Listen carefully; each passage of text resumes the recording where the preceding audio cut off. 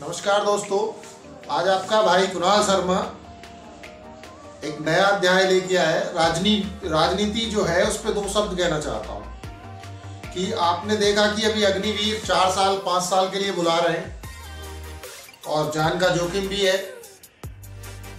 अगर कुछ ऊंच नीच होता है तो उसके बाद कुछ नहीं है उसके परिवार को। ना पेंशन है, ना कुछ है, ना उसके लिए खुद पेंशन है। लेकिन एक बंदा मेंबर ऑफ़ पार्लियामेंट, यानी एमपी बन गया।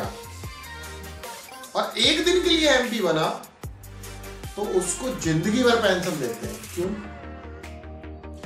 क्या वो पार्लियामेंट में बैठ के इतना बड़ा काम कर देता है कि जो एक फौजी बॉर्डर पे नहीं कर पाता? बहुत सोचने वाली बात है कि हमारे यहाँ पे पॉलिटिकल सिस्टम इतना अच्छा है कि पाँच साल में प्रधान लखपति हो जाएगा, विधायक करोड़पति हो जाता है, और पाँच साल में दो दो सौ करोड़, सौ सौ करोड़ की संपत्ति जब्त होती है, पाई जाती है। कहाँ से आता है ये? ये राजनीति इतना बड़ा व्यवसाय बन गया है कि आप पाँच साल दो और करोड़पति बन जाओ। तो फिर फौजी भर्ती करनी फौज में जाने से अच्छा है कि आप राजनेता बने।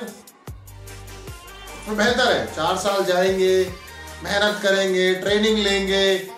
और क्या होगा? चार साल के बाद घर वापस आ जाएँगे। फिर वही ज़िंदगी। क्या होगा? कुछ नहीं। इसे बेहतर है, नेता बनो यार। पाँच साल दो। उधर चार साल देने, इधर पाँच साल दो। बात ही।